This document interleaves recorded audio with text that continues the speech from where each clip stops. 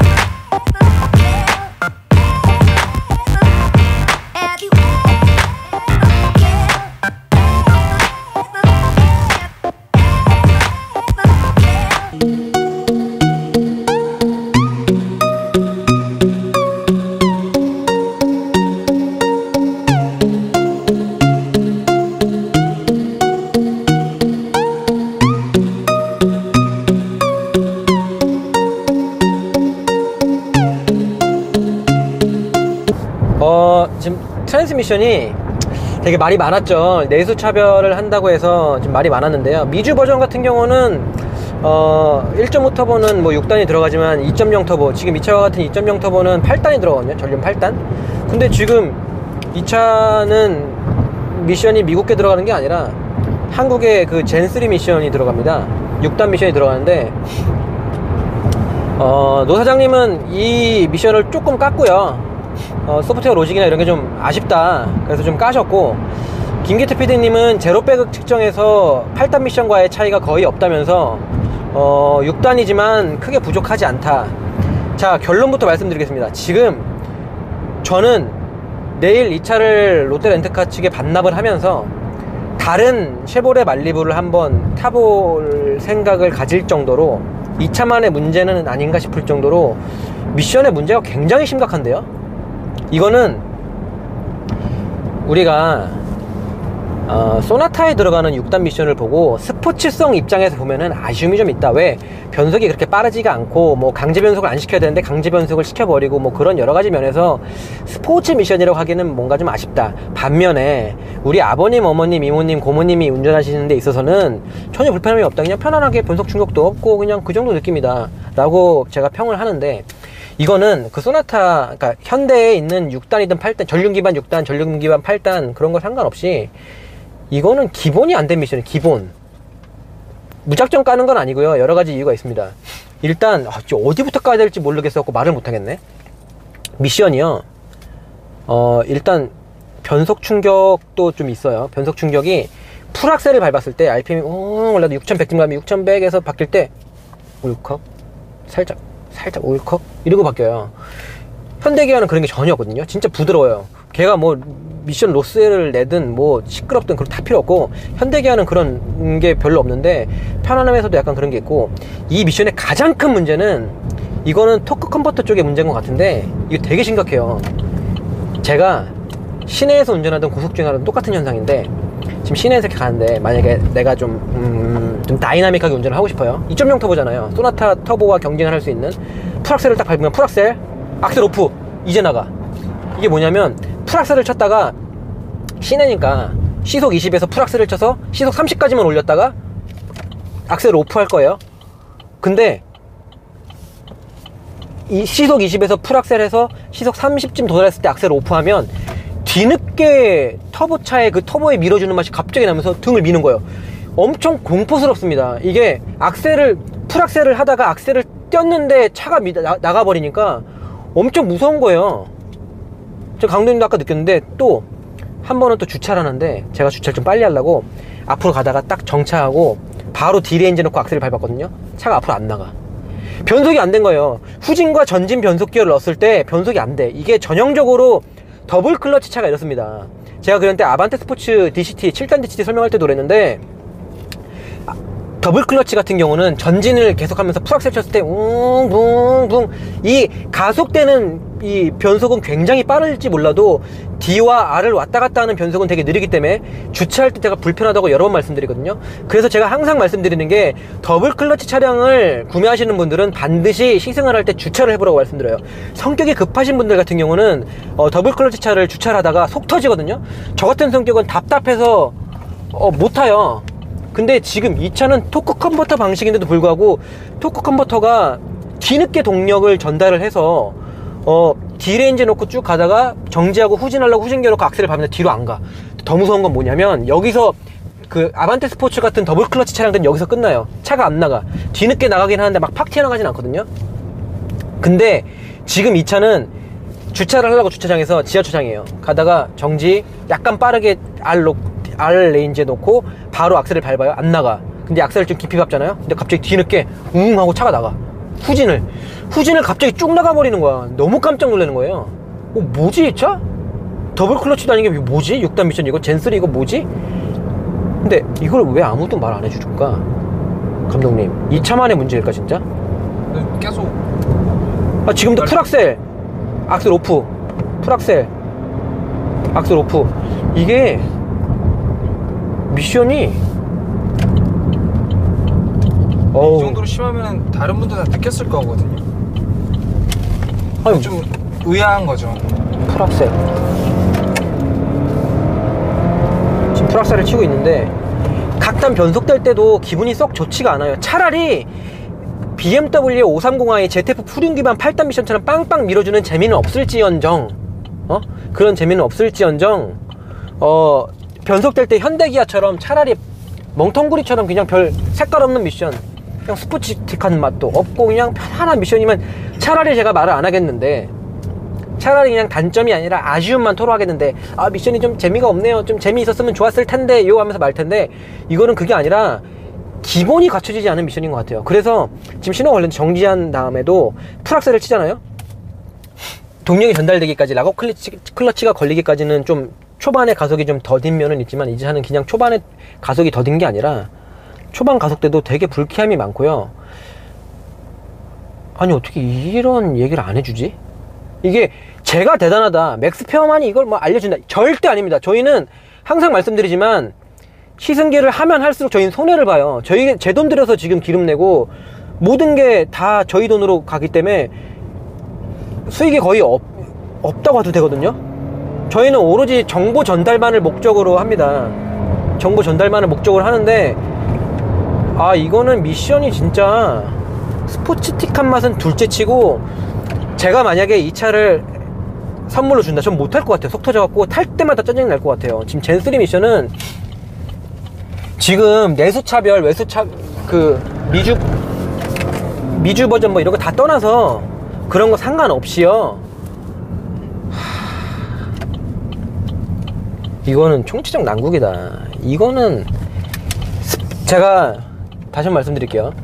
본인이 운전 성향이 그래도 나는 full악셀을 좀 친다. full악셀을 좀 많이 하고 좀 뭐 이렇게 늦었을 때는 평소에는 얌전히 다니다가도 뭐 회사 지각하거나 좀 늦었을 때는 full악셀을 좀 치고 칼치기 같은 건 아니더라도 dynamic한 운전을 조금이라도 찾는다. 뭐 내 차는 뭐 스포츠카 한 그런 맛이 전혀 없어도 그런 걸 좀 원한다 하시는 분 절대 사시면 안 됩니다. 절대 절대 절대 절대 절대 이거 일단 신호 들어온 김에 좌회전 조금 세게 돌아볼게요 좀 이따가 하체 setup이나 이런 거는 좀 과격하게 몰으면서 해볼 텐데 좀 세게 돌게요 아, 뭐, 예. 지금 뭐, 서스펜션 보면은 그렇게 불안하지 않죠? 그냥, 그냥 괜찮아요. 돌아 나가는 거는 타이어 접지나 이런 거다 괜찮은데 서스펜션 자체는 좀 이따 뭐 자세히 설명드리겠지만 코너를 과격하게 돈다고 해서 차체의 밸런스의 완성도가 그렇게 떨어지지 않습니다. 지금 이 차의 기준은 그, 즉 소나타 서브 터보나 소나타 이런 거의 기준을 맞춰서 이 차를 바라봤을 때 운동 성능 자체가 밥은 아닌데 미션의 또 하나 큰 문제 잘 봐요. 코너를 들어갔어요 감독님. 코너 들어갔어. 근데 코너가 음, 이 차 한계치에 한 85% 90%까지 내가 몰아붙였어. 끼 skid음이 들려요. 끼 하면서 악셀을 막 밟아. RPM은 막 5천 6천이야. 끼 하다가 악셀을 놔. 악셀을 왜 놨겠어? 앞에 돌발 상황이 생기거나 코너가 더 심해져. 아 그럼 난 그만 밟아야겠다 해서 악셀을 놨어. 근데 풀악셀을 밟다가 중간에 악셀을 밟, 놓잖아요? 난 놨는데 코너가 심해서 악셀을 놓은 이유가 코너가 심해서야. 전방에 코너가 심해. 어 더 밟았다가 난 좆되겠다. 코- 악셀을 딱 놨는데 갑자기 그제서 차가 밀려나가. 죽으라는 거지. 진짜 큰일 나. 내가 이거 아이고야. 운전을 하면서 시승 리뷰하면서 뭐 우리는 미디어가 아니기 때문에 욕을 해도 되지만 뭐 저희는 쌍욕이나 뭐 색드립 이런 거 잘 안 하거든요? 야 근데 이거는 욕이 절로 나온다. 죄송해요 오랜만에 네. 표정이 나? 옛날에 기블리 찍을 때 약간 그 표정 아, 기- 기블리는 그래도 가격 대비 좀 아쉬움이 있던 거지. 차가 그렇게 개판은 아니거든요. 그리고 K7 할 때도 좀 아쉬움이 좀 있던 거지. 이거는 역대급이다. 나도 노사장처럼 욕 한 번만 하면 안 돼요? 욕 한 번만 할게 감독님. 편집하면 되죠. 편집 내가 할 건데. 아 진짜? 아 미션이. 야 일단 얘 두, 일단 저몇 가지 깠는데 뭐 이거 미션 까는 걸 정리를 좀 해야겠는데? 집에 가서? 뭐뭐 까야 되는지? 일단 그리고 어 미국에는 지금 1.5는 아까 말씀드렸다시피 1.5 터보는 뭐 6단이 들어가고 2.0 터보는 뭐 8단인데 결국에 이 차랑 똑같은 건 미국에는 8단이 들어가고 있어요. 근데 국내는 지금 8단이 아니라 6단을 전륜 기반을 넣었는데 6단이 젠3인데 나 처음에 타고 젠3가 아니고 젠1인가 싶었잖아요 지금 아 쉐보레의 젠1은 맞아 이런 맛이었어 많이 개선됐다고 하는데 야, 미션이 총체적 난국이고요 그리고 미, GM 코리아가 진짜 싸가지가 없는 게 한국 환경에는 이게 맞대는 거야 괜찮다고 해서 젠3를 넣은 거예요 이거 왜 넣은지 알아요? 왜 넣겠어? 미국에 들어가는 8단 안 넣고 이거 6단 왜 넣겠어? 이유가 뭐야? 우리나라는 뭐 달릴 데 없으니까 아니 뭔, 뭔 소리야 방금 내가 찍은 게 240인데 240은 좀 안 되는구나 아니 220, 30? 달릴 데가 없어? 달릴 데가 왜 없어요 그게 아니라 원가 절감이지 근데 이 차의 컨셉이나 이런 걸 봤을 때 무조건 원가 절감을 했다고 깔 수는 없는 거예요 근데 지금 미션이 너무 바보 같잖아 원가 절감을 하겠다고 젠3 미션을 넣었는데 젠3 미션이 너무너무 말도 안 되는 상황이니까 깔 수밖에 없는 거지. 그리고 얘네가 왜 깎겠어? 미국에서 그랬겠지. Hey, GM Korea? 야, 니네 저 말리부 후속 이제 갖다 팔아야지. 신형 나왔다? 그랬을 거 아니야. new ninth generation? 응? 했는데 이제 한국에서 한국의 그 여건을 잘 아는 그 GM 코리아에서 그랬겠지. 저 근데 지금 여기 미국에 들어가는 8단 미션의 단가가 어느 정도 형성되어 있는지 알 수 있을까요? 그럼 이제 미국, 미국에 있는 GM이 그랬겠지. 어, 이거 뭐 미션 하나, 예를 들, 예를 들면, 뭐 한 300만 원인데, 원가가. 아, 그래요? 저희 젠3 미션 한 100만 원이면 되는데, 그거 넣는 거 어떨까요? 그러면은 미국이 그러겠지. 야, 아무리 그래도 그렇지. 지금 소나 경쟁 모델인 소나타는 8단을 넣으려고 하고 있고 이미 장착됐지만 8단을 넣고 늘 추세고 이거 출시할 때 정- 당시엔 6단이었지만 그리고 야 한국 사람들이 영어를 못하는 것도 아니고 인터넷이 발달 안 된 것도 아니고 인터넷 최강국 IT 강국 코리아라는데 너네 그거 넣었다가 미국은 8단인데 우리가 6단 넣냐고 들고 일어나면 어떡할 건데? 이랬을 거 아니야. 그지? 그런 걱정 안 했겠어? 했을 거란 말이야. GM도.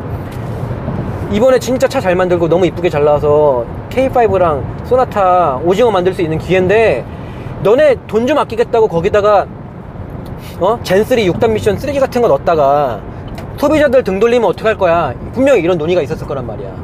근데 결론은 넣었어. 왜? 한, GM 코리아가 알려줬겠지. 저 미국에 계셔서 잘 모르나 본데 현대기아를 예로 들었어 현대기아 보라고. 지금 현대기아는 자국민한테는 C타입 EPS를 넣고 MDPS 수출형 미국에 나가는 거는 R타입을 넣습니다. 이렇게 국민을 개무시해도 국민들 잘 몰라요. 그냥 알아서 팔려. 줄 서서 사가던데요. 이거 6단 넣어도 알아서 삽니다. 왜? 쉐슬람이니까. 뭐 종교거든요. 쉐보, 쉐보레는 종교입니다. 알아서 팔립니다. 국민 좀 우롱하고 국민 좀 개돼지로 봐도 상관없습니다. 라고 알려줬겠죠. 한국 시장을 잘 알고 있는 GM 코리아가. 야 근데 이거는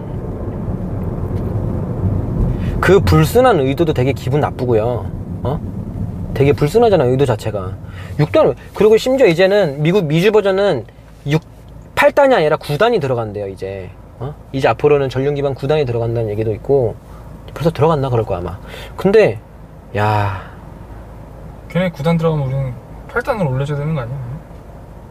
인간적으로? 나중에 재고 남으면 넣을지도 모르지.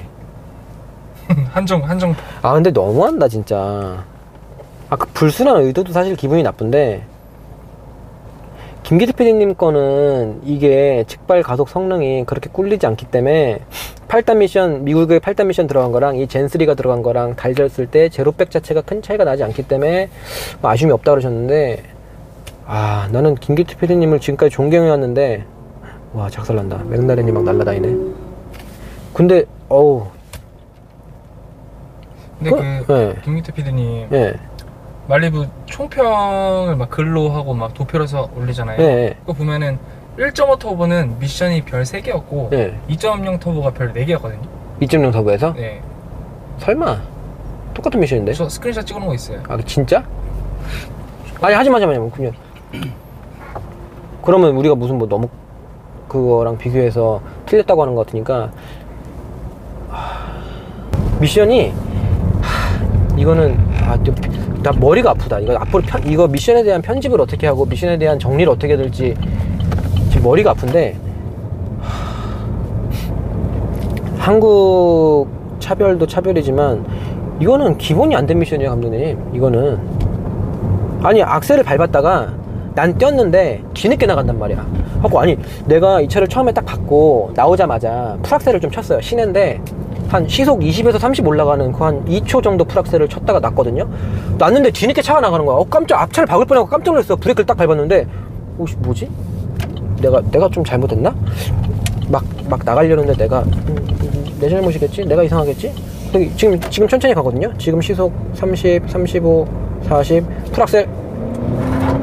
악셀 넣는데 뒤늦게 약간 악셀을 놓고 나서도 그러니까 이 토크 컨버터가 활성화되는 게 악셀을 밟고 나서 뒤늦게 활성화가 되는 거예요. 이게 되게 큰 문제인데 어 잘 봐요. 악셀을 밟았어. full로 밟았어. RPM은 돌아요. RPM은 도는데 동력 전달이 안 돼요. 동력 전달이 뒤늦게 되면 사실 이 운전을 할 때 RPM을 보는 RPM을 보고 운전하는 게 되게 중요하잖아요. RPM 막 돌아. 근데 이게 엔진 회전수잖아요. 엔진 회전수는 도는데 그 RPM에 맞게끔 동력이 가질 않는 거예요.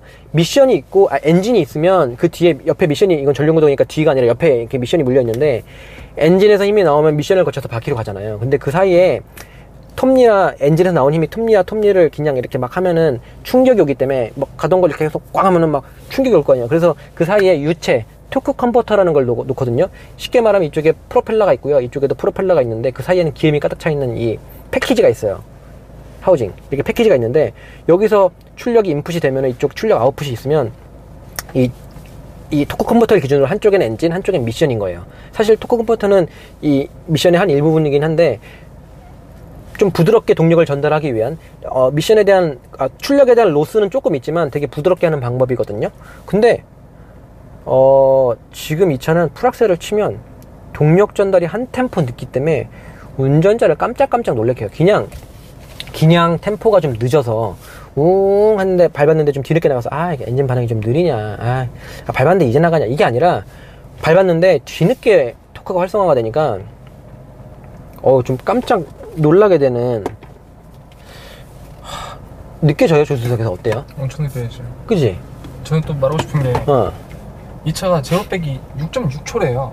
내가 그렇게 아- 안 느껴지는데 아예 느껴졌어요? 아니 6.6 이게 아니 나도 지금 출력도 그렇고 하, 제가 지금 궁금해서 이 근처에 있는 저 아반떼 스포츠 시승에 차량을 지원해주는 제 친구를 불렀거든요. 그래갖고 그냥 뭐 레이싱을 한 게 아니라 제가 그 차를 한번 타보고 이 차를 한번 타보고 시간을 좀 재봤어요. 그냥 어 뻥 뚫린 길에서 뭐 제로에서 Y 영역 한, 한 200 가까이까지 도달하는 시간을 쭉 재봤는데 뭐 나란히 나란히 달리는 거는 불법이죠. 그런 걸 하면 안 되고 그냥 시간만을 통해서 어느 정도 이제 객관적인 데이터를 얻어보려고 한번 해봤더니 차이가 꽤 나는 거예요. 아반떼가 훨씬 빨라요. 이 차만의 문제일지 모르겠는데 시승할 때뭐이 차만의 문제일 수도 있다고 해서 제가 여러 대를 시승할 수는 없잖아. 근데 내가 봤을 때 이거 이 차만의 문제가 아니라 프락셀. 어, 지금도 변속되는 게 이 로스가 좀 커. 변속될 때마다 약간의 울컥거림도 있을 뿐더러 그 변속이 되는 시점에 출력 로스가 좀 난다는 게 느껴질 정도로 물론 현대기아라고 이게 완전히 없는 건 아니에요. 현대기아도 약간 변속되는 시점이 시점에 있어서 약간의 아쉬움은 있는데 아 지금 뭐 시간 지금 몇, 몇 분 됐어요? 안, 안 끊고? 19분. 19분? 20분 가까이 얘기했네? 미션만 20분을 얘기했구나. 아 근데 이거 이게 지금 시내 운전을 했을 때도 full악셀을 치면은 미션이 반응이 너무 느린 것도 답답해 죽겠는데 다이나믹한 운전했을 때는 이 짜증이 배가 됩니다 진짜.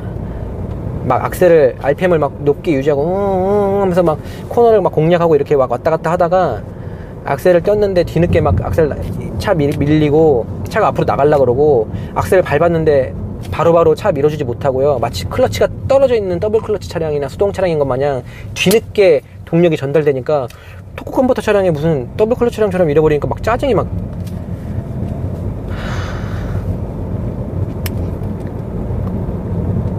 이거 쉐보레 타시는 분들 안 느껴지세요? 나이 동호회 분들도 어떻게 생각할지 궁금하네 진짜 혹시 이, 이 정도면 나는 이거 못못살 것 같아 나 경품으로 줘도 그냥 팔 것 같아 탈 때마다 짜증날 것 같은데 말리부 딴 거 타본 적 있어요? 아니? 운전? 처음인데 이거 아니 근데 이게 이 차량만의 문제는 아닐 거야 이게 만약에 더블 클러치 차량이나 수동 차량이라 그러면 제가 이 차량만의 문제라고 할 수도 있어요 왜냐면 렌트카기 때문에 이거 키로수 한 2만 밖에 안 됐거든요 렌트카기 때문에 사람들이 험하게 탔으면 무슨 클러치가 이미 좀 손- 많이 닳아서 동력 전달이 제대로 안 되나 보다 뒤늦게 되나 보다 이럴 수도 있는데 이거는 토크 컨버터 차량인데 그런 게 별로 없거든요 아, 또 설명드릴 건 설명하고 넘어가야지. 지금 이 기어 레버 있잖아요. 여기 있는 거. 플러스 마이너스. 이 마이너스, 플러스. 지금 D range에서는 전혀 안 먹고요. 이걸 L로 옮기면 계기판에 이제 L3 뭐 이렇게 떠서 3단이고 내리면 2단. 근데 잘 봐요. 하나 좋은 거는 계기, RPM 찍히고 있어요. 감독님. RPM 찍히고 있죠. RPM. 네. RPM 찍혀요? 잘 봐. 지금 1단이거든요. 1단. 풀악셀. 고정. 고정. 7000rpm 고정. 7000rpm 고정. 7000rpm 고정 안 올라가요. 강제 변속을 안 시킵니다. 이건 좋아요. 스포츠 운행을 함에 있어서 강제 변속을 안 시킨다는 거는 어 이거는 좋은 것 같아요. 이거는 칭찬을 해야지. 근데 이 미션을 칭, 이 부분을 보고 칭찬하기엔 참 하, 기본이 너무 안 돼 있어서 강제 변속은 안 시키는 건 좋은데 아 변속 속도도 느리고 로직도 되게 멍청해요. 로직 멍청한 거는 어떻게 할 수 있냐면요. 잘 봐. logic 명- 멍청한 거는 이걸 이거 매뉴얼 모드 이 버튼이 쓰는데 불편한지 해봤더니 되게 불편한 건 맞아요. 이게 손이 손이 이게 아니라 손이 뒤로 빼야 되기 때문에 제 팔이 이렇게 과격하게 과장해서 설명을 드리면 이해를 돕기 위해서 손을 이렇게 뒤로 빼야 돼요. 그러면 감독 여기 보이죠 여기 어깨가 약간 이렇게 빼야 된다고 이게 아니라 편하게 약간 뒤로 빼야 돼. 아, 토크 스티어도 막 있는데 지금 한 손으로 잡고 한 손으로 이거를 한다는 것 자체가 되게 불안해요. 변속도 되게 느려요. shift up도 느리고요. shift down 해볼게요. 지금 4000rpm에서 down shift 한번 해볼게요. 진짜 부드럽게 바뀌어요. 그러니까 부드럽다는 게 좀 흐리멍텅하게 바뀌어. 웅, down shift, 웅, 웅, 이렇게 쳐야 되는데 그게 아니라 엔진 브레이크 걸려고 down shift를 하면 지금 잘 봐. 4000rpm. RPM 찍히죠, 지금? 네, 좀 찍고 있어요. 잘 봐. 4000이지? 떨궈 볼게. 떨궜어. 떨궜어. 이게 너무 부드럽게 돼. 그리고 엔진 브레이크 걸려면 강제로 변속기를 다운을 쳐야 되는데 다운을 치기 위해선 지금 이걸 만져야 되기 때문에 down shift 칠 일이 별로 없을 것 같습니다. 지금 여기 있는 건 오디오 볼륨 버튼 이런 게 있어서 paddle이 없기 때문에 그런 건 좀 아쉬운 것 같고요. 다시 D range로 옮기겠습니다. 별로 이렇게 네, 다이나믹하게 운전할 만한 차는 차체의 완성도 자체는 전혀 부족하지 않습니다. 서스펜션의 완성도나 이런 것 자체에서 오는 스트레스나 불만은 뭐 이 차 등급을 놓고 바라봤을 때 별로 없거든요. 난 미션은 얘기하다 흥분해갖고 지금 너무 길게 갔다 그죠? 감독님 지금 몇 분째 얘기했어 내가? 이거 한 번 끊겼어요. 아 그- 카메라 한 번 끊겼어요? 뜨거워서. 뜨거워서 과열로 이게 또 터보라 엔진이. 아씨 작살나네. 지금 몇 몇 분 정도 됐지? 저거 보면. 한 20, 25? 25분? 일단 한번 끝나겠다. 아, 이제 미션 설명은 제가 타면서 짜증이 유발되는 족족 입으로 짜증을 뱉어 드릴게요. 어떤 상황에 왜 어떻게 짜증이 났다. 아 진짜 주차할 때도 그렇고 아까 전에 한마디만 더 할게. 아까 전에 어떤 경우가 있었냐면 제 주차 그 주차장이 아니라 지상이었거든요. 근데 차를 잠깐 대고 편의점에서 뭘 살라고 분당 순회역 번화가예요. 번화가 있는 데서 잠깐 주정차를 잠시 하려고 차를 대는데 빨리 빨리 갔다 빨리 오려고 주차를 빨리 했어요. 딱 가서 정지하고 후진기를 넣고 딱 했는데 차가 안 나가는 거야. 뒤늦게 뒤늦게 나가. 아 또 짜증나네. 그러고서 다시 D range를 넣고 앞으로 가려고 악셀을 딱 밟았는데 차가 안 나가는 거예요. 짜증나서 악셀을 떼었거든요. 악셀 거의 거의 뗄 때쯤에 차가 wheel spin을 끼익 내면서 앞으로 튀어나가려고 그러는 거야. 깜짝 놀라서 브레이크 딱 밟고 주변 사람들 다 쳐다봐. Gen3 미션은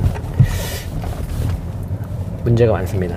이거는 다른 리뷰들에서 왜 다른 리뷰들에서 왜 이거를 그냥 뭐 아쉬움 정도로 토를 하고 넘어갔는지 저는 도대체가 이해가 안 되고요. 분명히 저는 차를 잘 모르고 운전을 잘하는 사람이 아니고 일반인인데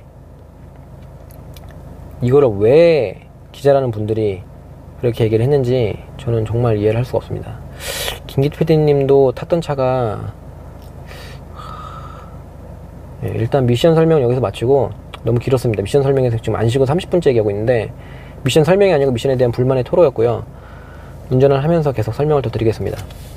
어, 지금 말리부 9세대 모델은 타보니까 느껴지는 이 주행 감각이 사실 주행 감각, 감각 자체가 나쁘진 않아요. 좋습니다. 주행 감각도 좋고 왜 쉐보레 말리부 타시는 분들이 아 뭐 운동 성능이 뭐 일반적인 K5나 그런 차, 차보다 뭐 소나타보다 좋다 라고 말씀을 하시는지 저는 조금은 알 것 같아요. 이런 이런 느껴지는 국산 차량은 확실히 조금은 다른 이 GM의 운전 맛이 느껴지기 때문에 그렇게 말씀하시는 것 같고요. 음, 서스펜션은 설명 안 들어도 아시겠죠? 전류는 그냥 맥퍼슨 들어가 있고 뒤에는 멀티링크인데 거기에 뭐 색다른 기술이나 테크닉, 노하우를 녹여서 어, 운동 성능을 뭐 극대화하기 위한 뭐 그런 게 전혀 들어가 있지는 않고요. 서스펜션 댐퍼도 당연히 가변 서스 이런 건 전혀 아니고요. 그냥 유압식 종바리 서스가 들어가 있는데 음, 서스펜션 댐퍼가 딱 몰아보면 어우 탄탄하네는 아니고요. 그냥 약간 말랑말랑하기도 하고 그렇다고 뭐 옛날에 현대기아에서 느껴졌던 그런 뭐 푹신푹신한 뭐 그런 건 아니고 그냥 딱 타보면 아 서스펜션이 컨셉 자체가 패밀리카를 지향하는 그런 차구나 라는 게 딱 느껴집니다. 지금 1.5 터보랑 2.0 터보랑 서스펜션이 어떻게 차이 나는지 모르겠는데 제가 봤을 땐 차이 안 나는 것 같아요. 지금 서스펜션이 약간 스쿠터기 때문에 그러니까 이 차가 소나타 터보하고 비교가 될 텐데 거기에 비교해서 아쉬움이 느껴지는 게 그겁니다 2.0 터보라고 하면 출력이 좀 있기 때문에 서스펜션의 완성도나 어떤 브레이크 로터의 크기 그런 걸 좀 차별화를 뒀으면 좋겠는데 여러분 아시겠지만 소나타 터보는 흉내를 낼지언정 그, 그 완성도가 좀 부족할지언정 일반 소나타 모델과 소나타 터보 모델은 뭐 서스펜션도 좀 다른 걸 넣고요. 브레이크도 조금 키운 걸 넣고요. 아시죠? 미션은 똑같지만 그리고 뭐 핸들도 좀 D컷을 넣고 패들도 되게 이쁜 거 들어가고 그런 식으로 계기판도 좀 다르잖아요. 좀 스포티한 맛을 뽑아내기 위해서. 아, BMW만큼은 아니지만 그래도 노력을 좀 하잖아요. 근데 지금 이 모델은 물론 그 소나타 터보에 비해서는 가격 메리트가 좀 있기 때문에 이걸 가지고 가격 차이가 좀 싸지 않냐 그러면 할 말은 없는데 음, 그래도 좀 아쉽죠 선택권이라도 좀 이렇게 줘서 서스펜션을 좀 더 단단한 버전에 대한 선택권이랄지 그런 게 있으면 훨씬 좋지 않았을까 하는 그런 아쉬움이 좀, 좀 있습니다. 아, 좀 아쉽네. 그러니까 이 운동, 운동 성능 자체가 나쁘다기보다는 차체의 기본적인 완성도는 되게 뭐 괜찮은 것 같은데 운전 1.5 터보가 아니고 2.0 터보잖아요. 1.5 터보라면은 지금 세팅 정도가 마일드한 이 세팅 정도가 그냥 괜찮다. 코너를 잡아 돌릴 때도 그렇고. 근데 음 그리고 지금 이 차는 핸들이 REPS, R타입, 렉타입 들어있어요. 소나타급인데 여러분 제가 K7에서 C타입이 들어갔다고 후드러 깠더니 댓글로 어떤 분이 엄청 뭐라 하는 거예요 저한테 어, 네가 그걸 블라인드 하면 느낄 수 있냐? 여러분 제가 다시 한번 정의를 좀 해드릴게요. 지금 이 차에서 R타입이 들어갔다? 좋냐 나쁘냐? 완성도를 떠나서요. 따봉. 이건 칭찬해야지 할 거는. 미션은 존나 깠지만 이건 칭찬해야지. 왜?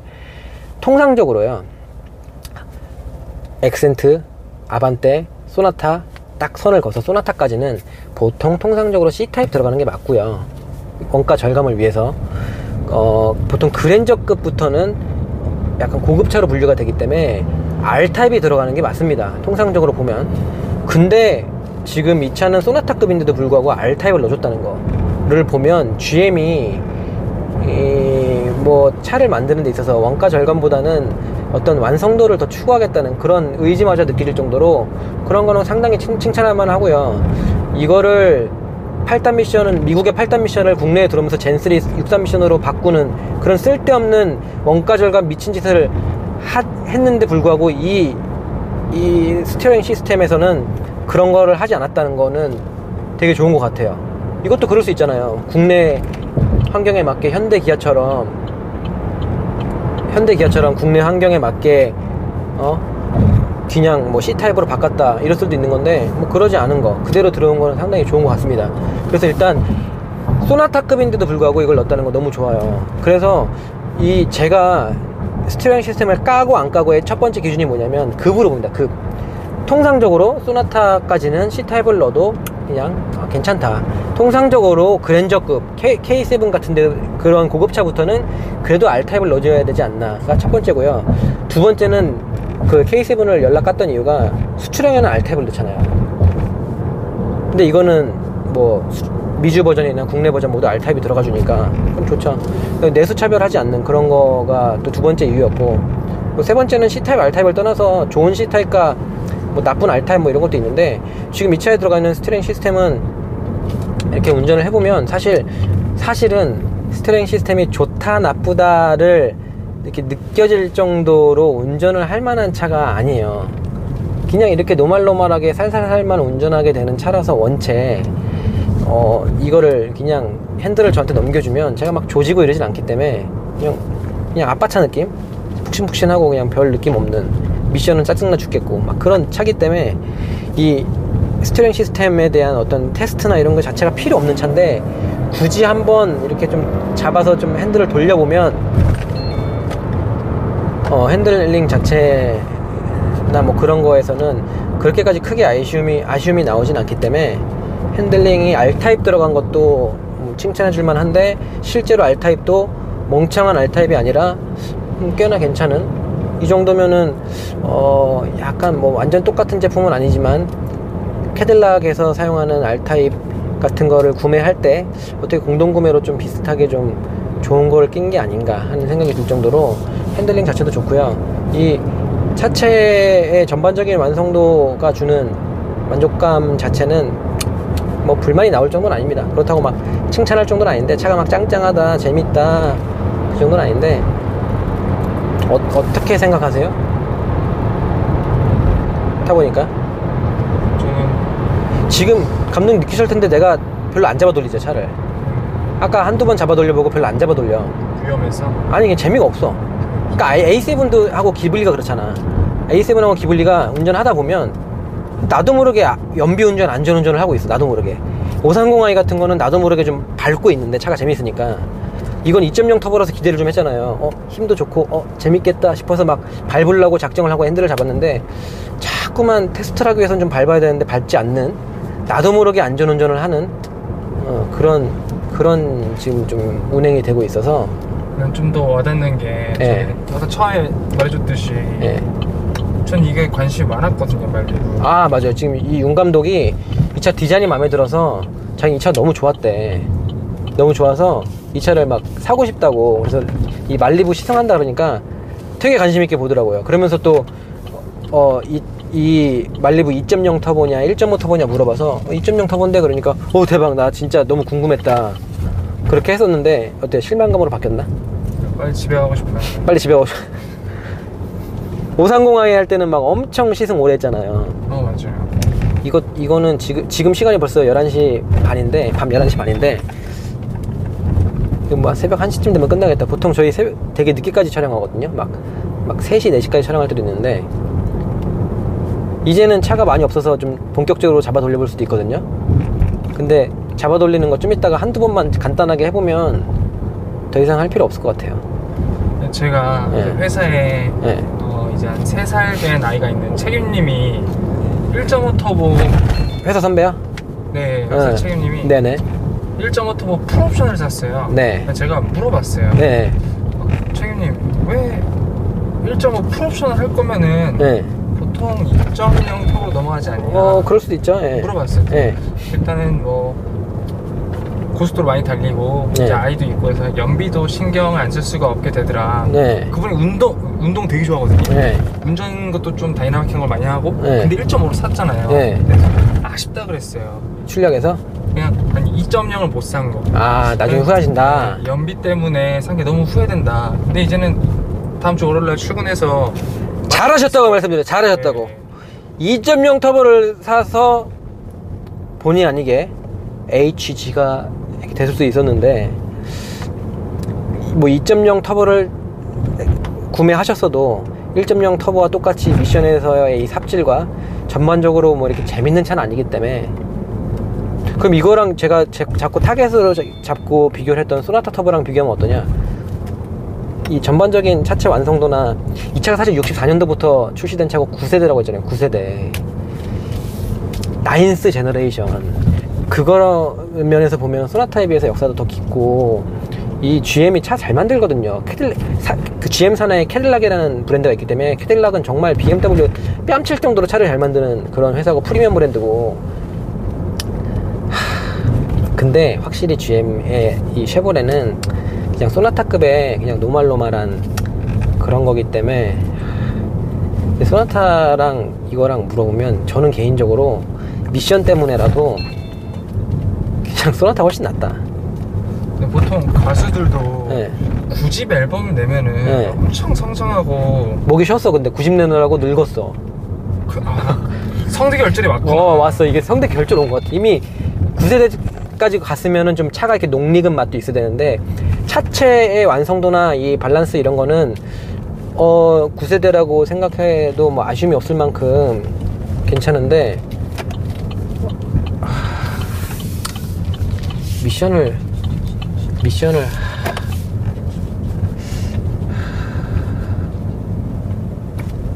미션이 좀 에라 에라네 에라 미션에서의 아쉬움이 크기 때문에 아니 일단 미션에서부터 이렇게 예, 안 좋은 게 보이니까 예. 다른 건 또 더 궁금하지도 않거든요, 솔직히 이제. 미션이 중요한 요소니까. 그리고 하나 칭찬할 것도 있어. 이 핸들 있잖아요. 핸들이 이게 이게 지금 그 국산 차 중에 핸들 중에는 그 아반떼 스포츠도 그렇고 소나타 스포츠 이런 거 막 D컷 들어가잖아요. 지금 이거 찍어주고 계시죠? 네. 근데 이건 D컷이 없거든요. 패들도 없잖아. 근데 핸들 자체가 크기나 이 잡히는 맛이 되게 도톰해. 이렇게 도톰했던 차가 캐딜락 ATS. 캐딜락 ATS가 정말 두꺼웠거든요. 제가 지금 캐딜락 ATS를 1년 전에 시승해서 정확히 기억은 안 나는데 그래도 상당히 깊은 인상이 남아 있거든요. 보니까 그대로 갖고 온 건 아닌데 거기에 버금갈 만큼 핸들이 두꺼워서 어, 이런 면에서는 상당히 칭, 칭찬을 해줄 만한 것 같아요. 핸들 핸들 좋아요. 핸들링도 좋고 핸들링 시스템도 R타입인 것도 칭찬해 줄 만한데 핸들의 이런 그립감이나 이런 것도 굉장히 좋기 때문에 그립감이 좋아서 재밌는 운전을 하려고 하는데 차가 미션이 안 돼. 아씨 이거 어떡하라고 이 버튼은 누구 생각 근데 이것도 하나 이거 감독님 왜 이렇게 한 줄 알아요? 이거 옛날부터 그랬어. 나 옛날에 미국에 2012년도인가 있을 때 있잖아. 그때 쉐보레 트래버스를 운- 이 렌트해서 운전하는데 그때도 이거였어. 근데 나 불편하다 못 느꼈다 그때? 왜 그런지 알아요? 쉐보레가 이거에 대한 그 불만을 제기하는 소비자가 종종 있어서 조사를 해봤대요. 소비자 조사를 한 거야 이번에 요즘에 다시 출시하는 차들도 이렇게 넣어야 되는지 요걸 넣어야 되는지 플러스 마이너스 토글 방식을 넣어야 되는지 고민을 하면서 시장 조사를 한 거야 쉐보레가 근데 어디 어느 시장을 조사했겠어요 미국? 미국 시장 미국이 중무대니까 미국 텃밭이거든 근데 딱 가서 물어본 거야 첫 번째 고객한테 고객님 여기에 있는 요 버튼을 이렇게 만들었는데 음, 불편하진 않으셨나요? 물어봤더니 고객님 뭐랬는지 알아? 이게 뭐죠? 첫 번째 고객 답변 이거야 이게 뭐죠? 두 번째 고객 답변은 뭔지 알아? 뭔지는 아는데 안 쓰는데요. 아, 안 쓰는 거? 어, 안 쓰는 거야. 근데 사람들이 또 착각하는 게 있다. 미국 시장에서 이거를 안 쓴다고 해서 미국 사람들이 운전을 모르고 이거를 잘 몰라서 안 써? 그게 아니라 미국은 제가 미국에서 운전을 많이는 아니고 조금 해봤는데요. 특징이 뭐냐면 핸들을 타각할 일이 잘 없어. 그러니까 독일 차의 하체 세팅이랑 미국의 하체 세팅이 다를 수밖에 없는 게 미국은 그 GT카처럼 이렇게 크루즈를 하는 어, 애리조나 사막에 뻥 뚫린 고속도로를 그냥 쭉 cruising으로 한 140 정도로 편안하게 달리는 게 주 목적이기 때문에 V8 엔진을 사랑하는 그런 것도 있고요. 넉넉한 토크와 넉넉한 힘 같은 걸 이용해서 그냥 쭉 편안하게 가는 거를 그런 게 이제 미국 세팅인 거고 요즘은 엄청 좋지만 과거의 미국 차가 그 독일 차 같은 경우는 이 탄탄한 하체 세팅을 통해서 막 winding road랑 끼 이런 칼 같은 핸들링이 미국의 마- 그 독일의 맛인 건데 아무리 요즘에 GM이 하체 세팅을 이 캐딜락 같은 것도 그렇고 독일 차처럼 단단하게 한다고 하지만 요런 데서는 아직 이 미국의 맛이 남아 있는 거예요. 트랜스미션이 어 트랜스미션 변속이 빠를 필요도 없는 거야 미국은. 빨라서 뭐해? 맨날 최고단 기어만 물려 있는데 출발하자마자 웅 간다. 물론 저도 알아요. 저도 시카고에서도 운전해보고 LA에서도 운전해보고 미국이 좋아서 저는 신혼여행도 미국으로 갔었는데 라스베가스에서도 운전해보고 그 시내는 한국 시내만큼 플- 제가 플로리다에서도 운전을 다 해봤는데 어 엄청 밀리는 데는 한국이랑 똑같아요. 강변북로 뺨따귀 칠 정도로 밀리는 것도 다 아는데 대도시를 조금만 벗어나면은 고속도로 같은 거 타보면 핸들을 돌릴 일이 없어. 내가 쉐보레 트래버스를 탔는데 가운데 계기판에 네 바퀴 다륜구동이었거든요. 네 바퀴로 동력 전달되는 게 나오는 거예요. 그래서 그래프가 이렇게 알죠? 바퀴가 이 trip 컴퓨터에 하나, 둘, 셋, 넷 이렇게 있어 갖고 이 우측으로 토크가 갑니다. 앞쪽으로 토크가 가고 뒤로 토크가 가고가 이 얼마나 토크가 가는지가 실시간으로 모니터에 나오는데 궁금해서 도- 핸들을 해보려고 했거든요. 야, 내가 차를 받았던 데가 네브라스카의 링컨이라는 데서 링컨이라는 도시에 차를 받아갖고 시카고 오헤어 공항까지 운전을 하고 왔는데 1000km거든요. 1000km. 1000km 안 쉬고 10시간 동안 운전을 하고 가는데 단 한 번도 이 그래프가 움직이는 일을 볼 수가 없어. 핸들을 돌릴 일이 없는 거야. 사륜구동인데 사륜구동을 느낄 수가 없어 코너에서 핸들을 돌릴 일이 없는 거야. 미국의 고속도로는 아닌 것도 있지만 제가 너무 일반화하는 경향인데 대부분의 미국 고속도로는 이렇게 가다 보면 그 고저차만 이렇게 있고 어떠냐면 저기 앞 저기 앞에 이렇게 가다가 다시 높아진 다음에 저기 마루가 보여. 소실점 같이 이렇게 딱 보여. 근데 거기 도착하잖아? 이렇게 내려갔다 올라가서 거기 도착하잖아? 그럼 그 다음에 또 이렇다? 그 다음에 또 이렇고 그냥 저 앞에 끝이, 끝이 보여서 거기 가 도착하면 또 그러 핸들을 꺾을 일이 없어. 한국은 고속도로도 약간 이 코너가 있잖아요. 한국에선 고속도로 탈 때도 막 고속으로 타고 막 그런 게 있는데 전혀 없어. 좀 지루하지 않아요? 그렇게 길면? 지루하지. 재미도 없지. 그러니까 차를 다이나믹하게 만들 필요가 있겠어? 그 방향으로 발전할 수밖에 없는 거야, 미국은. 지금 이 토글 스위치 자체가 그래요. 이렇게 만든 이유가 미국 사람들이 조- 시장 조사를 해봤더니 아 죄송합니다. 지금 말을 많이 했더니 잠시만요. 시장 조사를 해봤더니 미국 사람들은 시장 조사에서 조사에서 이걸 사용을 안 한다고 하더라. 사용을 안 하는 이유가 운전하는 환경이 그래서 그래. 그렇다고 내가 이걸 안 깔 거냐? 그건 아니지. 왜? 이건 한국이잖아. 이거 GM 코리아야. 이 차 생산 어디서 되는지 알아요? 임팔라는 내가 알기로 직수입을 해오는데 미국에서 조립한 거를 떠와. 이거 한국에서 만들어요. 한국 부평 공장에서 만들어. 그래서 이 새끼, 이- 아 저기 너무 욕할. 이 나쁜 사람들이 나쁜 한, GM 코리아가 미션 바꿨잖아. 한국에 들어오면서 아 굳이 8단 필요 없습니다. 저희는 6단이면 충분합니다. 들어오실 때, 그러니까 이 이거 할 때 우리는 이렇게 다 결제 받은 거야 미국 쪽에. 그래서 지금 이 바보 같은 한마디만 할게. 이 병신 같은 이 Gen 3 미션을 넣어놨잖아. 원가 절감하겠다고. 응? 아 이거 한국에서 만들어야 돼? 어. made in Korea야 이거. 이게 몰랐어? 어, 대표님은 술을 못 마시니까 네, 저는 술을 못 마셔요. 자기. 술 좋아하잖아요 네. 호가든 네. 호가든이 수입 맥주라서 돈 오지게 받거든요 네. 근데 호가든이 한국에서 만들어요 아, 나, 나 지금 아, 나그 느꼈어요 지금 요즘에 수입 맥주가 인기가 많아지면서 OEM 방식으로 뭐 오비 맥주나 이런 데서 그런 것들을 만든다고 저도 들었는데 이 차가 한국에서 생산이 되는 차인데 그래서 한국 실정에 맞, 맞는다는 이유로 이 말도 안 되는 바보 미션을 넣었잖아요. 그럼 한국 미션 한국 실정에 맞게 요 잘 봐라. 강민 이거 찍어봐요. 이게 버튼식이잖아요. 버튼이죠. 나 어떤 생각까지 드냐면 버튼이잖아. 버튼. 이게 기계적인 거예요? 전자적인 거죠. 버튼을 누르면 이 밑에 배선이 있어갖고 이렇게 갈 거 아니야. 그지? 버튼. 여기 밑에 버튼 있죠 그 어셔라는 존재가 보이는데 소리 나오죠? 도움이 라디오. 버튼이거든요 버튼? 이거랑 이거랑 뜯어 여기 다 대시보드 뜯어버려 갖고 여기 있는 거랑 여기랑 배선 바꾸고 싶어. 그럼 눌러볼래요. 그러니까 이 토글 방식이 물론 한마디 할 건 있어요 제가. 어 미션이 워낙에 바보 같아서 여기 있는 이 플러스 마이너스 강제로 수동 모드에서 변속을 하는 일은 잘 없을 것 같아요. 짜증나니까. 패드릴로 있다고 하더라도. 근데 그래도 이런 거는 단점 맞죠 그러니까 이거를 만약에 나도 지금 다 뭐- 잘 모르겠는데 만약에 어떤 기자분이나 그런 분들께서 아, 미국에서 생산된 차기 미국의 차기 때문에 어? 뭐 생산은 한국이지만 이 차는 쉐보레 말리부는 미국 차기 때문에 미국에서 개발이 됐기 때문에 어 그런 이유에서 요 토글 스위치 이 수동 모드 방식이 어 고객들로부터 그렇게 뭐 불만 사항이 아니었습니다. 그래서 한국에 이렇게 들어와 8단 미션 빼고 6단 넣었잖아. 한국 실정에 충분하다면서. 어? 아, 그럼 이것도 한국 실정에 맞게 넣던가. 나쁜 사람들이라니까? 아무튼 이거는, 예. 무슨 얘기하다 이 얘기 나왔지? 근데 지금 운동 성능 얘기하다 갑자기 이게 나와갖고, 미국 얘기 나오고, 너무 멀리 갔네, 얘기가. 신혼여행. 애리조나, 애리조나 사막에서 나 신혼여행 갔다가, 시카고 오헤어 공항, 오- 공항 찍고, 지금 플로리다까지. 하, 네. 미션, 미- 또 미션 깠네? 나 지금 운동 성능 얘기하다가, 운동 성능 얘기 대충 하다가 갑자기 결론은 미션, 미션 바보. 그 에어백 얘기를 또 안 할 수가 없죠. 지금 이 차에서 에어백 얘기를 안 할 수 없는 이유가, 어, 미국에는 에어백이 10개가 들어가요. 감독님. 미국은 에어백이 10개. 그게 방향마다 다르게? 총 개수가 10개가 들어가고 어, 한국 같은 경우는 8개가 들어가는 걸로 알고 있고요. 개수가 두 개 빠진 것도 조금 아쉬운데 개수보다 더 큰 문제는 지금 여기에는 2세대 에어백 depowered 에어백이 들어가고요.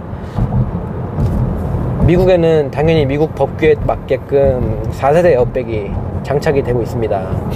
지금 4세대 에어백을 의무적으로 법규로서 장착하게 하는 나라는 제가 알기로는 북미 쪽밖에 없는데 소나타 같은 경우는 지금 국내에서 이미 4세대 에어백을 장착하고 있고요.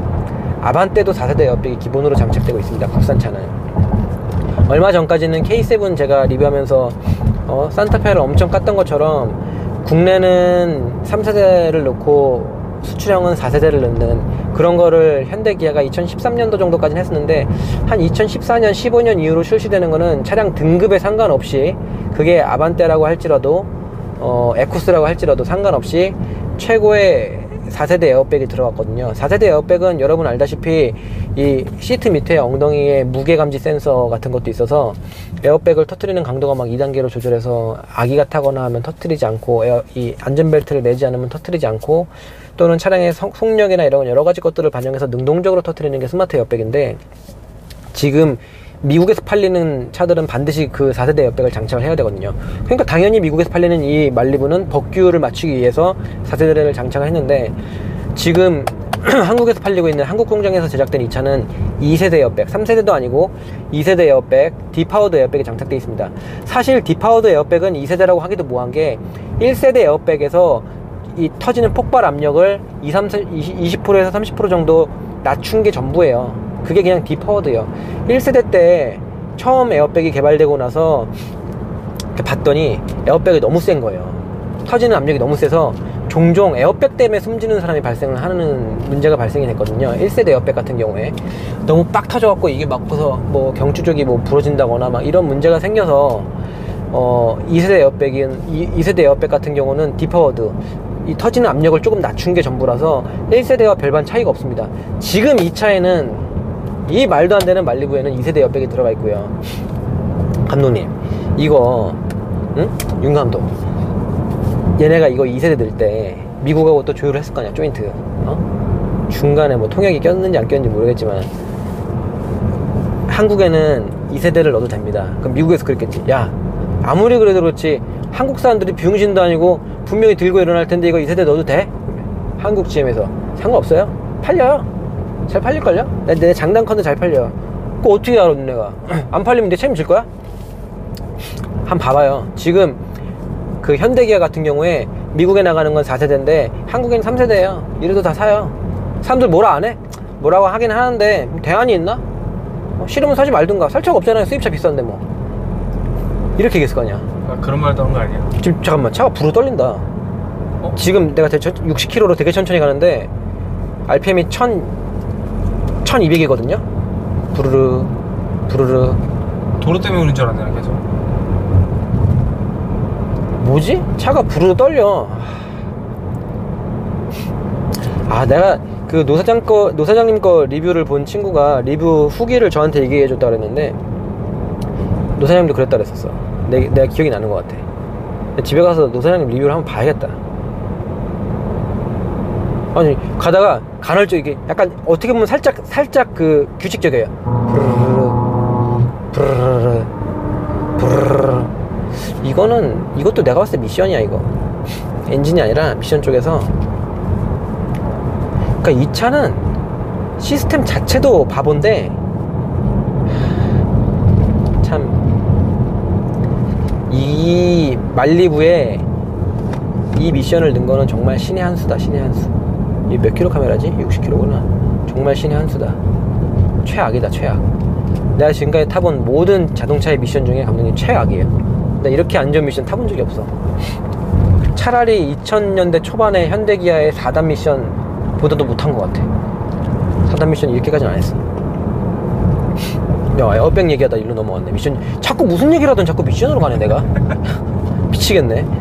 에어백 얘기하다가도 미션. 뭐, 뭐, 연비 얘기하다가도 미- 계속 미션으로 가. 제가 에어백 얘기를 하다 말았는데, 이 차, 그니까, 2세대 에어백을 담고 있는 건 정말 한국민을 우롱하는 거고요. 한국 국민을. 그리고 이 차 출시할 때 당시에, 어? 그때 정권이 누구였어요? 박근혜였을 거아니야 어? 한국 우습게 보겠지. 너무 정치적인 발언인가? 어? 아니, 우리가 그렇게 우습나? 여러분, 한국민이 그렇게 우스울까요? 왜, 무슨 깡으로 2세대를 갖다 넣은 건지 그냥 그대로 갖다 넣으면 되잖아. 근데, 근데 나는 이거를 옹호하는 블로거도 봤다, 감독님. 그 블로거가 뭐라 했냐면, 블로거가 하는 얘기가, 어, 법규의 차이다. 어? 법규의 차이. 미국은 그 법이기 때문에 그걸 넣은 거고, 한국 이걸 넣 하... 안전의 옵션이잖아요. 한국, 한국 국회의원분들이 일 안 한다 그래서, 어떻게 옵션 가지고 그러지? 그런 거는 너무너무 아쉬운 것 같습니다.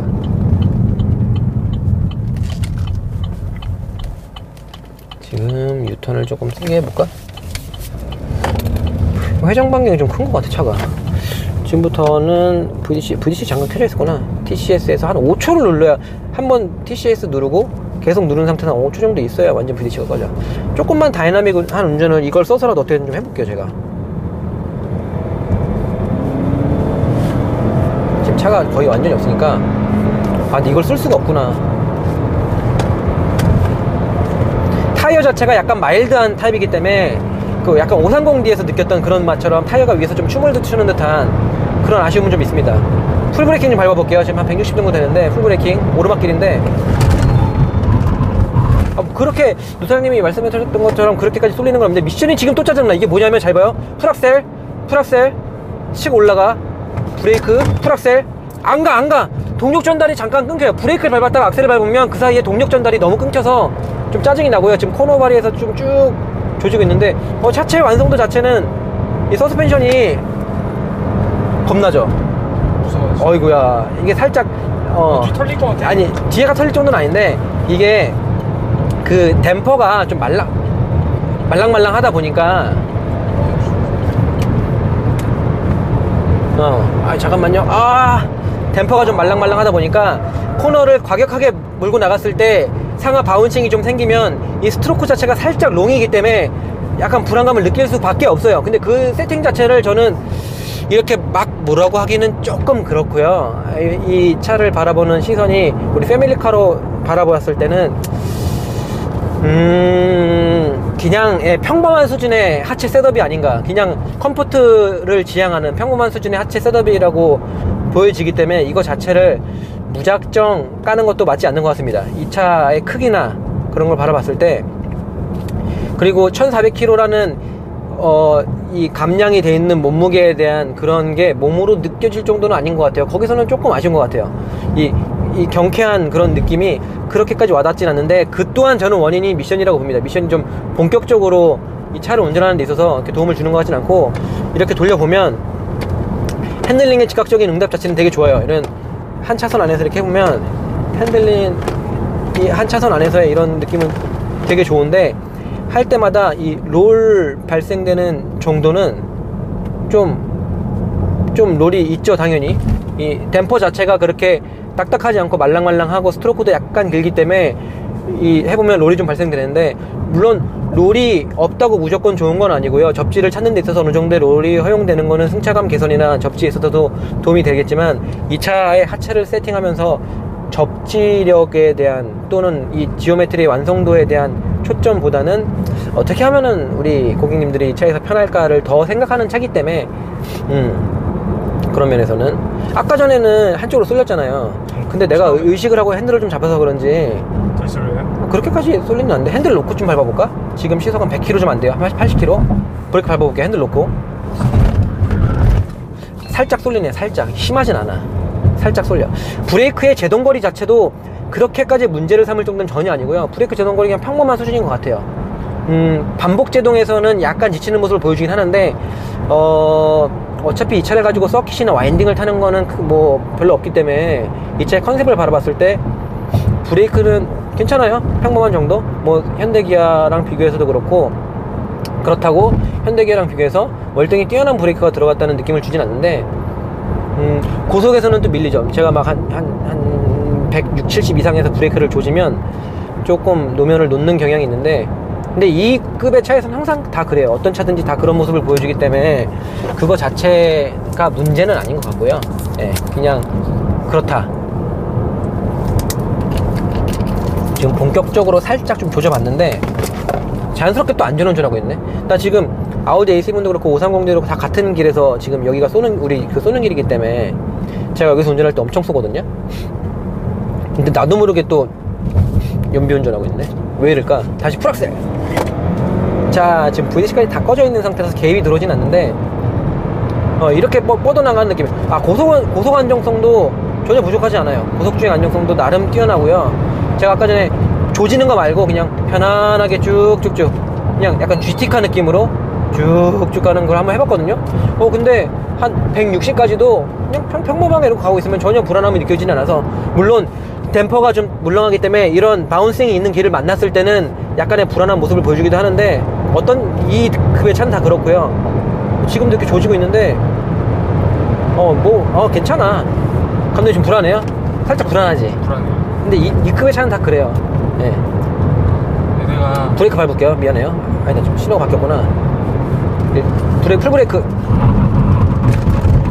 아이고야.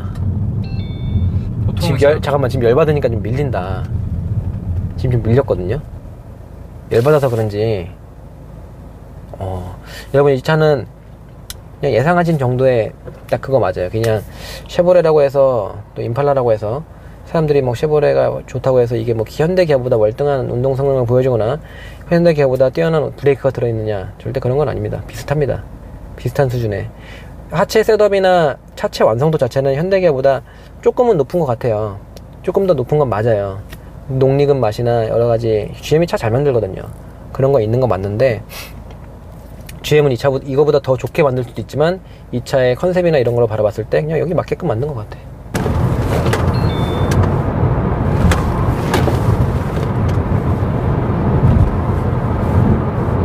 그냥 비슷하다. 현대기아 소나타나 뭐 K5나 530i 같은 거랑 비교하잖아요. 천지 차이야. 아 물론 전륜 후륜의 차이도 있고 차, 차도 좀 다르긴 한데 이렇게 쓸 때랑 차선 변경했을 때랑은 또 차이가 크네. 그냥 이렇게만 했으면 롤만 발생하고 말잖아요. 핸드, 핸들링 자체는 좋은데, 핸, 그러니까 핸들 시스템 자체는 좋은데, 반응성은 되게 즉각적이고 좋은데,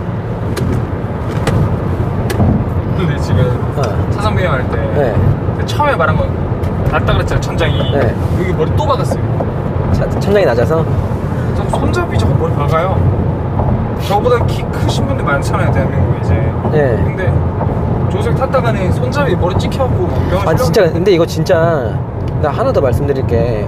운동 성능이 타보니까 되게 평범한 차예요. 되게 평범해요. 현대기아랑 비교해서 이 차가 뭐 더뭐 월등히 그러니까 김기태 PD님 같은 경우는 이걸 타보고 국산차 중에 최고의 핸들링 성능을 보여준다고 했는데 하, 그게 무조건적으로 반대하거나 잘못됐다는 게 아니라 이 급격한 차선 변경이나 그러니까 제가 차선 변경을 급격하게 하는, 이유가 뭐냐면요. 운전을 하다가 앞에 어떤 돌발 상황이 생겨서 어떤 물건이 떨어지면은 그거 피해야 되잖아요. 심지어 피할 때 braking이 들어갈 수도 있거든요. 그런 우리 그 뭐 트랙에서 타는 그런 조건이 아니라 이런 normal normal한 조건에서 이 차를 운행해 봤을 때 이렇게 가다가 어 뭐 있네. 그걸 확 피하고 이렇게 하잖아. 근데 그때 이 이 핸들의 응답성 자체, 핸들 시스템, 핸들링 시스템, 이 R, EPS에서 주는 응답성 자체는 즉각적이고 뛰어난데 이 하체 setup이나 이런 거 자체가 예 그렇게까지 뭐 방지턱을 넘고 이런 평범한 주행 감각은 뭐 나무랄 데 없는데 이 차 말랑말랑하다 너무. 차 성향 자체가 되게 말랑말랑하고 미션은 바보짓하고. 네 사실 제가 어제 저녁에 시승을 쭉 하고 오늘도 너무 차가 이상해서 다시 한번 또 아침 일찍 일어나서 어제 새벽까지 촬영을 하고도 네, 새벽같이 일어나서 다시 한번 또 차를 타봤는데 역시나 이상한 거 맞는 것 같고요. 집에 가서는 잠이 안 와서 좀 다른 시승기들을 좀 봤어요. 근데 미션에 대한 지적이 그렇게 많지는 않았더라고요. 물론 이 차에서 지적을 유일하게 하는 게 미션이긴 한데 저처럼 후드려 패는 게 없는 거예요. 근데 아까 보여드렸, 보여드렸다시피 증명해서 보여드렸잖아요. 오죽했으면 제가 다음날 다시 찍는 경우가 잘 없는데 지금 차 반납을 좀 늦춰서라도 윤 감독을 아침 일찍 불러서 제가 태워갖고 다시 한번 좀 촬영을 해본 거거든요 역시나 지금 증명해 보였듯이 제가 원하는 대로 차가 움직이지 않는 치명적인 미션을 갖고 있고요. 그 원인이 이 차가 가진 근본적인 문제라기보다는 이 멀쩡한 말리부라는 차에 완성도가 그렇게 부족하지도 않은 차에 그 보령 미션 6단 젠3 미션을 넣는 것 자체가 그 의도 자체도 되게 괘씸하고요. 너무 미션이 안 좋네요. 자, 다른 매체에서는 왜 이렇게 그냥 넘어가는지 예. 일단 총평을 좀 해보면 사실 어제 총평을 제가 간단하게 했는데 총평을 좀 다시 해보면 움직임 자체가 서스펜션이나 이 차 길이가 되게 길거든요 차체도 좀 커서 이 차체의 크기나 이 차의 컨셉에 비해서는 어 괜찮은 움직임을 보여준다 이건 거지 저도 인터넷에서 이 차 되게 좋다는 얘기를 너무 많이 봐갖고 진짜 괜찮은 줄 알았는데 그 정도는 아니에요. 절대 한마디로 표현하면 쏘는 차는 아니에요. 절대. 우리가 평상적으로 익히 알고 있던 소나타나 K5의 중형차의 택시들이잖아요. 택시로 많이 이용되는. 그런 차들 중에서 그거를 그냥 패밀리카라는 거를 이 기준으로 봤을 때 조금 괜찮다는 거지? 절대 되게 스포티한 맛이 녹아있는 차는 아니에요.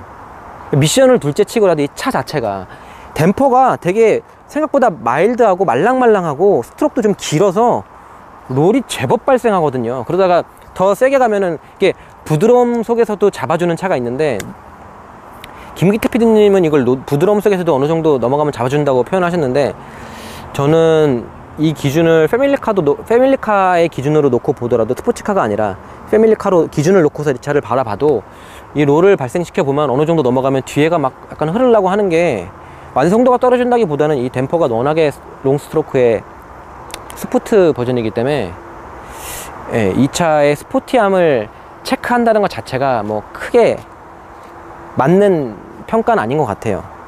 그냥 이 차의 크기나 여러 가지 전반적으로 봤을 때, 야, 어, 나쁘지 않다. 괜찮네. 괜찮은 움직임을 보여준다. 라는 평가를 내리는 거지. 누가 이 차를 뭐, 말도 안 되겠지만, 좀, 좀 스포티한 차들, 뭐, 5 시리즈나 그런 차들하고 비교를 한다거나 하면은 말도 안 되는 비교.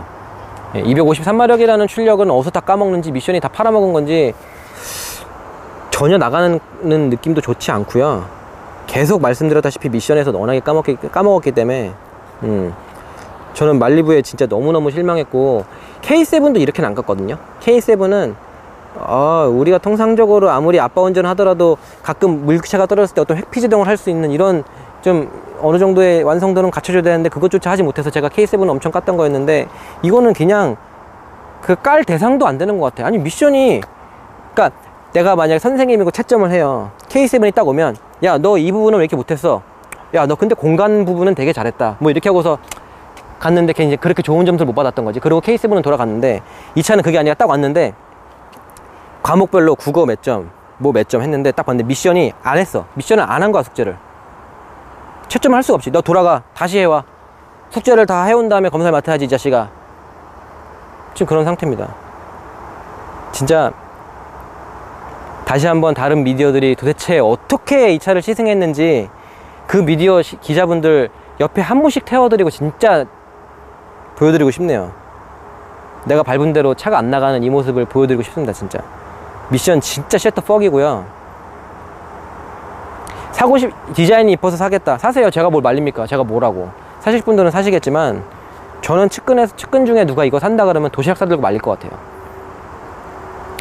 차라리 현대기아가 난 거지. 현대기아 피하겠다고 진짜 이 차 샀다가는 정말 똥 피하다가 똥물 뒤집어 쓰는 격이 되니까 제가 뭐라고 이런 평가를 하냐면은 제가 꼭 드리고 싶은 말씀은 제가 봤을 때 이 차는 정말 아니니까 혹시라도 구매 고려하시는 분들은 그리고 본인이 조금이라도 스포티함에 관심이 있으신 분들은 반드시 시승해 보세요 반드시. 다른 제가 이 총평 딴 거 다 필요 없고 이 차 구매하려고 한다. 내가 스포티한 운전을 하든 안 하든 그냥 무조건 시승 꼭 한번 해보시고요. 제가 영상에서 보여드렸던 행동들 한번 따라해 보세요. 어떻게 되는지. 정말 그게 어떤 느낌인지 꼭 시승한 뒤에 구매하셨으면 좋겠다는 생각이 듭니다.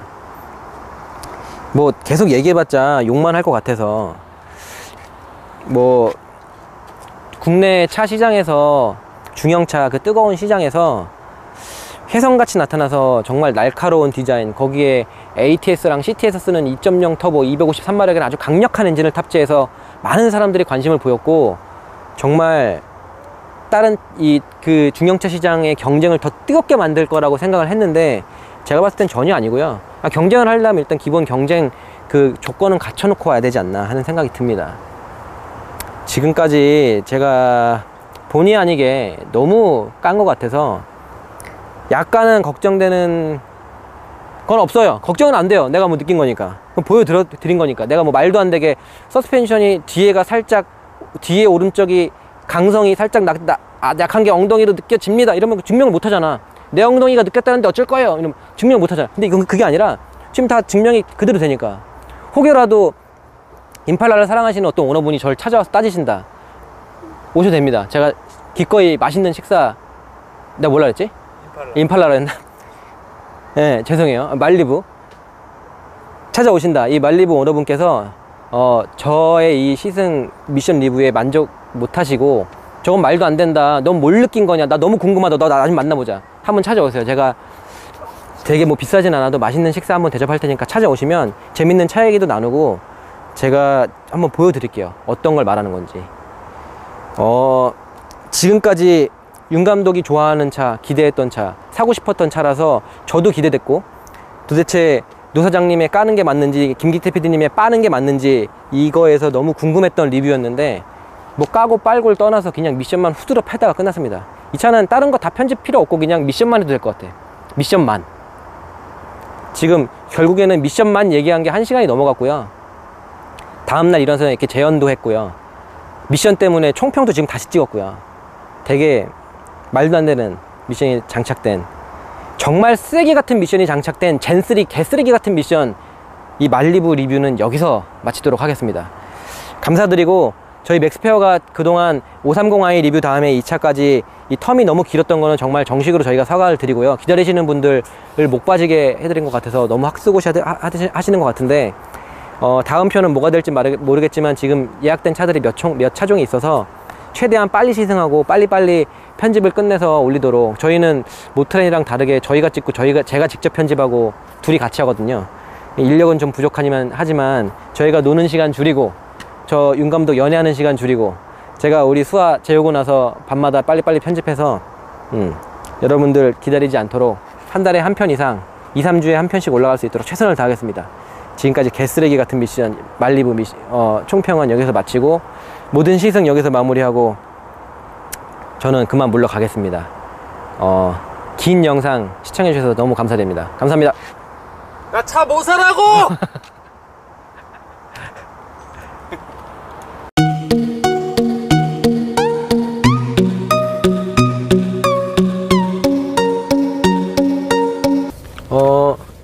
또 몇 가지 추가로 말씀드릴 거는 좀 특징이 옛날에 제가 마세라티 기블리 할 때도 약간 말씀을 드렸던 것 같기도 한데 이 브레이크 페달하고 악셀 페달의 높이가 다른 차보다 조금 높아서 가다 서다 할때 감독님 저 찍어주세요. 이렇게 이 브레이크에 얹었다가 악셀 브레이크 악셀 이렇게 가다 서다 할때 가볍게 누르고 가볍게 누르고 이게 옮겨가잖아요. 이 발목을 좀 많이 들어야 돼요. 다른 차에 비해서 좀 많이 들어야 되는 그런 특징이 있어서 어, 뭐, 불편함이 저는 살짝 느껴집니다. 이거 뭐, 개인에 따라서, 발 크기에 따라서, 운전 습성에 따라서 조금씩은 다르시겠지만, 제 생각에는 약간, 어, 약간 높은 세팅돼 있어서, 이게 미국 사람들이 발이 커서 그런가? 등치가 커서? 그런 거는 조금, 음, 특징입니다. 한번 운전을, 시- 이거 구매 고려하시는 분들은, 특히 여성분들 같은 경우는 우리 어머님이나 이 발이 작으시니까 가다스드 할때 악셀이 너무 높진 않은지 악셀하고 브레이크가 너무 높이 있어서 발목에 부담은 안 되는지 한 번쯤 체크해 보시는 게 좋을 것 같고요. 어, 계기판 같은 경우는 시인성이 떨어질 필요가 없게 생겼는데 그 시인성이 좋진 않은 것 같아요. 숫자도 좀 촘촘한 것 같고 특히 RPM 게이지가 그렇게 눈에는 잘 안 들어오는 것 같아서 그리고 뭐 trip 컴퓨터를 통해서 다양한 정보를 띄워주는 거는 좋은 것 같고요. 좀 캐딜락도 그랬었는데 엔진 오일 남은 수명 보여주고요. 국산차에선 잘 안 그러죠. 4개의 공기압을 다 보여주는 것도 너무 좋고요. 그 다음에 뭐 연비도 이렇게 뭐 보여주고 평균 속도나 특이한 게 타이머 이런 것도 있고요. 배터리 전압도 잘 보여주고 냉각수 온도를 보여주는 것도 너무 좋아요. 냉각수 온도 보여주는 거 잘 못 봤죠. 냉각수 온도까지 수치로 보여주는 차가 그렇게 많지는 않았어요. 오일 압력까지. 오일 압력 게이지는 뭐 포르쉐 타면은 이렇게 아날로그 방식으로 오일 압력 게이지까지 막 있고 그런데 어, 오일 압력까지 있는 거는 좀 대단하죠. 속도, 어, trip 이렇게. 또 뭐 이쪽을 통해서 다양한 정보를 보여주는 것도 좋은데 그 계기판 시인성이 그렇게까지 좋은 것 같진 않네요. 여기 뭐 2세대 에어백이 나쁜 놈의 새끼들 숨어 있는 이 에어백 위치고 어 그 미션이 어 진짜 답답한 게 악셀을 밟으면 RPM은 올라가는데 아이에서 오전 2시를 알려드립니다. 아유 벌써 새벽 2시네요 예. 악셀을 밟으면 RPM은 튀는데 차가 안 나가는 이게 너무 사람을 짜증나게 하고요 뭐 운전하면서 미션 설명에서도 제가 충분히 설명을 드렸지만 이거는 그냥 적당히 단점으로 설명하고 넘어가는 게 저는 좀 신기할 정도로 어 그리고 시트 같은 경우는 이게 소나타 터보와 경쟁을 해야 될 수도 있는 2.0, 2.0 터보 모델인데도 불구하고 이 holding 능력은 이 버킷이 잡아주는 거는 되게 아쉬워요. 그러니까 말 그대로 스포츠 성향에서 바라, 바라봤을 때는 스- 이 시트가 되게 아쉽고요. 아이고 그거 말고 그냥 평범한 차로 바라봤을 때는 시트에 대해서 뭐 큰 불만이 나오진 않아요. 불편하거나 그런, 거는 별로 없고 이 허리 받침대 그 요추에 바람 이렇게 빵빵하게 채워서 허리 밑에 쭉 받쳐주는 거 있잖아요. 그 부분도 음, 전혀 불편함은 없어서 그리고 또 장점이라고 하면 조수석까지 어 전동 시트가 들어가 있고 조수석 전동 시트가 높낮이 조절이 돼요. 높낮이 조절까지 되는 조수석 시트는 현대 기아에서는 잘 없거든요. 되게 고급차가 아니면 그게 잘 없는데 그 제 차도 조수석이 산타페인데 그 전동식이긴 한데 높낮이 조절까지는 안 되거든요. 허리 럼버 스포트도 없고. 근데 이거는 운전석하고 똑같은 완전히 똑같은 시트가 음, 이 조수석에도 들어가서 그런 건 되게 좋은 것 같고 이 제가 아까도 말씀드렸는데 미국에서 이 빌렸던 GM 차의 냄새가 한국의 이 부평 공장에서 만들어진 이 차에서도 나, 나는 게 전 너무 신기했거든요. 어, 한면 한편에서는 약간 이 향수를 불러일으키는 약간 반갑기도 하고 그랬는데 음, 전형적인 한국에서 만들었지만 이 스- 자재를 미국에서 갖고 와서 그런지 저, 미국 그 GM 차에서 나는 그 특유의 냄새가 똑같이 있는 게 전 되게 신기했어요. 근데 또 하나 이게 아직까지는 이 GM이 되게 옛날에 미국 차랑 다르게 운동 성능에 신경을 쓰고 캐딜락도 보면은 BMW 따기 때리려고 하고 있고 그런 거 보면은 되게 운동 성능이나 여러 가지 면에서 독일 차랑 맞먹으려고 하고 있는데 아직까지도 미국 차의 느낌이 나는 게 한두 가지가 있거든요. 그 대표적인 게 뭐냐면 어 이런 이런 소재 이런 거 말하는 게 아니라 감독 여기 봐볼래요? 시트 있지. 이게 지금 인조 가죽인 것 같긴 한데 옵션에 따라 다르겠죠. 근데 그게 문제가 아니라 여기가 지금 인조 가죽이든 가죽이든 가죽면이잖아요. 바로 옆에 있죠 여기. 내 손가락 끝에 짚고 있는 거 여기. 여기 여기. 여기가 직물이다. 어, 이제 알았어요. 여기 직물이지. 여기는 가죽이든 인조 가죽이든 아무튼 가죽 느낌이죠. 바로 여기가 여기하고 여기 경계요. 지금 누르고 있는 이거는 가죽, 이거는 직물. 그래도 옆면까지는 가죽을 쓰거든요. 근데 바로 옆면이가 물론 그런 이유는 있어요. 이 시트가 이렇게 앞뒤로 이렇게 움직일 때 이쪽에 쓸려서 그러거나 뭐 그런 원인이 있을 수도 있겠지만 보통 여기까지는 다 가죽을 쓰거든요. 이런 게 전형적인 그 미국 스타일. 음. 무슨 바닥 매트 이렇게 덮어놓는데 되게 허술하게 덮어놓고 막 전선 보이고 배선 보이고 이러는 게 전형적인 약간 미국 스타일인데 어 제가 또 뒷좌석에 이렇게 다시 온 게요. 아까 전에 앞에서 시트 옆부분이 직물로 돼 있어서 그 미국 차 느낌이 난다 그랬는데 그 카시트 아기들 카시트 장착하는 IS, ISOFIX 있잖아요. ISOFIX. 그 부분이 여기에 있잖아요. 지금 여기에 카시트를 장착하세요 하고 단추가 있는데 봤는데 여기에 가면은 없어요. 어 뭐야? 여기 없잖아. 어, 여기는 틈에 손이 안 들어가네? 어 어디다 끼라는 거지? 여기에 스펀지 보이죠? 여기 철판이 보이는데 철판 옆에 여기에 있어. 뭐 굳이 안 보이셔도 되는데 구조 자체가 현대기아의 K5나 요즘에 소나타 보면 여기에 플라스틱 커버 있어서 딱 제끼고 끼울 수 있게 돼 있는데 이 자체가 나쁘다기보다는 이런 거 보이죠? 이렇게 시트 이거를 제끼고 흰색 스폰지가 보이고 감독님. 보이지? 음. 그리고 이 사이를 통해서 밑에는 차량 철판이 보인과 동시에 그 옆에 있는 여기 쇠 지지대에다가 이렇게 카시트를 장착하라는 요런 거. 고급 차에서는 절대 볼 수 없는. 그러니까 이게 미국 애들이 독일 차를 그 독일 차를 지금 많이 벤치마킹 하려고 하고 더 이상 예전의 미국 느낌이 안 나게 하려고 하는데 이런 사소한 부분은 어쩔 수 없는 것 같아요 진짜. 한국 같으면은 야 그래도 그렇지. 뭐 쓰는데 지장은 없지만 이렇게 마감해 놓는 거 좀 그렇지 않아? 라고 할 수도 있는데 미국은 좀 그런 게 없나 봐. 그래서 네,